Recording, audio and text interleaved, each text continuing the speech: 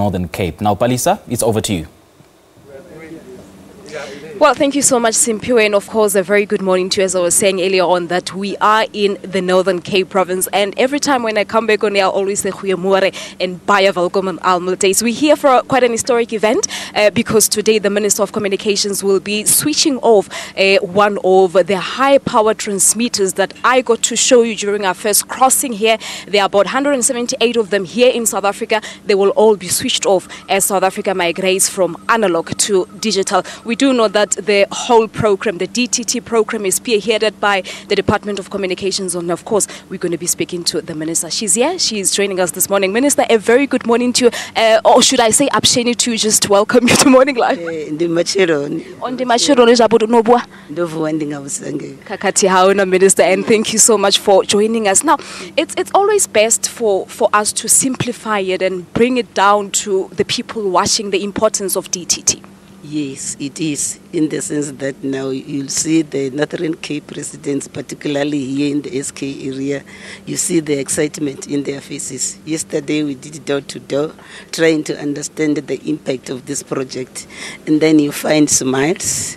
They're saying the quality that we see the quality that we see of television, and then there's a multiple of channels that they had to choose from. The others were telling us they are able to watch Muvhango, Seven the line clearly without any interference. So it brings joy to ordinary citizens. It's all about universal access, access to broadcasting services, which is a right in terms of Section 192 of the Constitution of this country. Well, it certainly does bring joy, obviously, to, to the face of the residents here in, in, in Northern Cape. But talk to us about the government's decision to actually launch or, or, or start the switch off here in, in the Northern Cape province. Yes, you recall this area is the square kilometer area, area area, wherein we are managing as a country one of the world's major telescope, and then they need to be prevented from lo- loud noises that come from radio frequency. Hence, you'll see everybody in this area is connected, whether they can afford or not, because we had to protect the square kilometer array area. So, for the people of the SK area, in particular areas here around the Northern Cape, they had the benefit of receiving free set-top boxes coming from government because the intention was to make sure that we clear everybody from analog to digital. So you'll find that what I like about during our visit as well, others were having their own DSTV decoders are paying in compact. Most of them they opt to put these ones of ours in their bedrooms. we got into a lot of bedrooms yesterday when they were showing us because of the multiplicity of channels and the choices that they have and the, the clarity in terms of the pictures because the pictures are very clear of good quality compared even to the uh, DST ones, the previous ones. So that's why you see the embracement of the the project here in this particular. And I want to thank the community of uh, this SK area, the Northern uh, Province, the Carnarvon uh, politicians, volunteers whom they've brought to assist us to deal with the awareness. So everybody was involved in this project. That's what I like about it. You can see that it was being embraced by the community. It, it is quite a beautiful move because I know that previously some could not even access your SABC 2 and 3 and they couldn't access radio stations such, such as your RSG. So, so they all excited. But we know, Minister, that the program was supposed to have been implemented in June, but there were a lot of challenges, including your court cases. Talk to us about the challenges that your department encountered throughout this, uh, this, this process. I must say upfront, uh, this project was handed over to us from the then DOC uh, department at the end of January 2015. And then we had the challenge because we had the deadline of 17 June 2015 to make sure that we are being seen compliant to the ITU deadline. Within that very short space of time, we were able then to finalize the amendment of the policy that was finally adopted by Cabinet in March. And then, hence, you have seen us in October coming here to first launch the project. And then 2015, then when we launched the project in October here, that's where we started the registration process. And then thereafter, then people were able to register in numbers, hence uh, late last uh, year, we were able to start to distribute the boxes. But like I'm saying, this matter has been challenges from its inception. You remember there was a, it was challenged uh, during the tenure of uh, Minister Pule, who had also given Sentech the, the responsibility to roll out the project. So always there will be challenges. But the beauty about it is we are rolling on the project.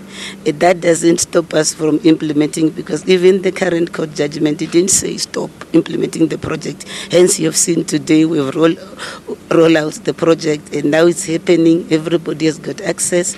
But the challenges will be there, especially with, with a project of this magnitude. You remember it's the beginning.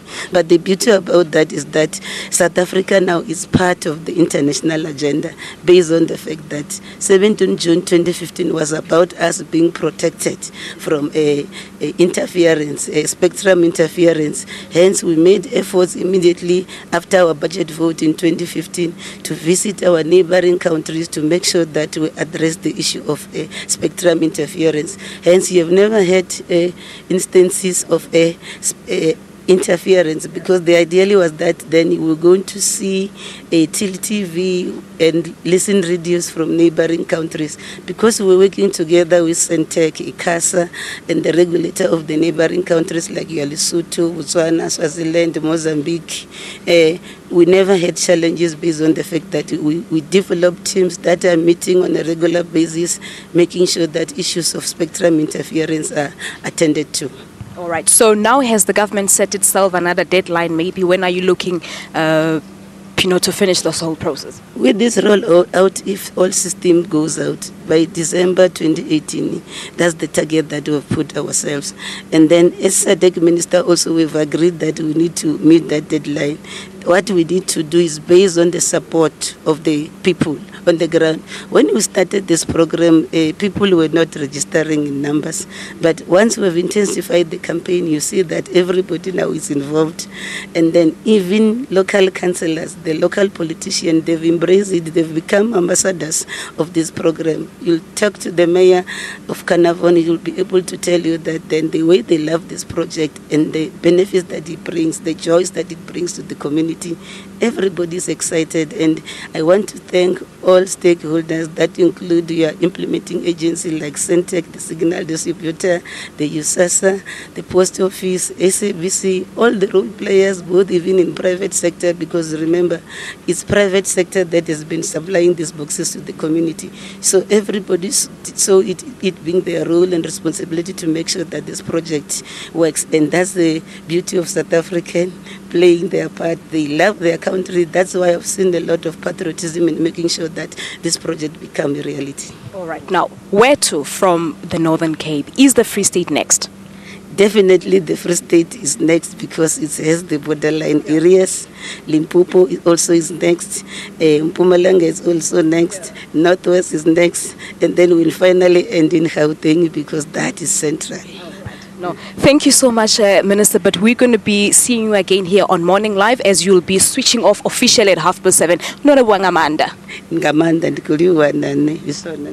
Ndizone. There you have it. That's the Minister of Communications, Faith Muthambi, explaining to us the migration process. But we'll be coming back just uh, around half past seven this morning. This is where the official switch off on this button here that will take place here when the Minister officially switches off this high transmitter here uh, at Carnival, uh, Carnival in the Northern Cape province. So we're taking a break. When we come back, we'll also be speaking to one of the main role players in this whole program, Sentech. They will be explaining to us the complicity, complexity of uh, the whole process, especially zooming onto the technicality part of it. So make sure that you do stay tuned to Morning Live as we quickly take a commercial break.